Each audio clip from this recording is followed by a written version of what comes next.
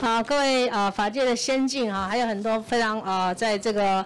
啊参审或陪审制度源于非常啊精深的呃，在司改国事会议期间参与的这些啊各位先进哈，刚刚听了很多的呃专业的辩辩论的主呃轴线哈，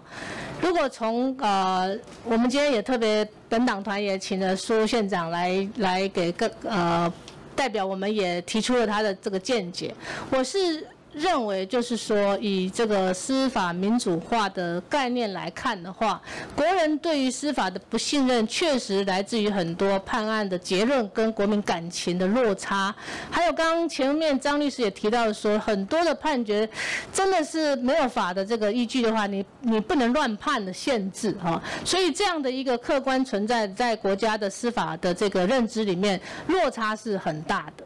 那所以在司改的二零一七到现在，我相信不会只有。在这个呃参审或陪审的辩论有这种歧义，我相信在其他的改革上也面临很多的选择，跟此时是不是成熟到我们可以呃在大步改革，或者是渐进式改革，或者是并列式的一个一个呃呃实实践。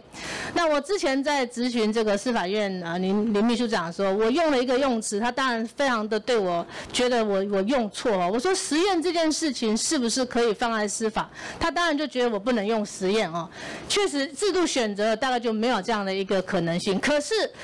司法院自己的版本有一个六年的评估期，我就一直在请教他们：六年评估之后，你要回头吗？你要选新制吗？这是第二个，我觉得此时在设计六年后就要先预想的状况，所以才回过来推说，此时的这个参审的这个呃法条已经进入到。前五条的讨论辩论，大概还很难再取得大家就是说预想，才这个实践下去之后，对于这个叫做司法的改革的这个呃，我们讲比较术语，就是说那 KPI 是什么？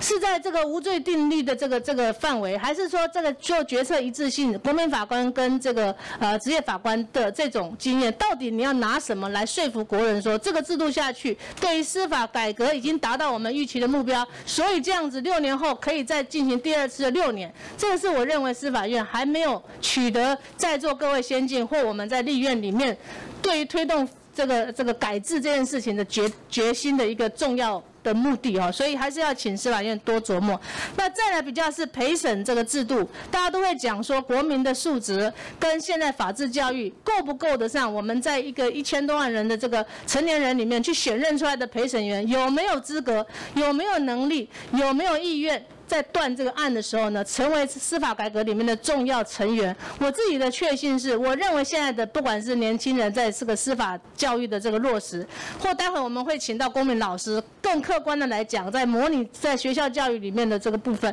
所以信任国人，我相信这个是毋庸置疑的。比较是制度上路之后的陪审的整体来讲，配套的这个这个规划里面，今天有陪审会的这个专业者也在这里，我们也要很负责、很很很实务的去谈陪。陪审制度在台湾，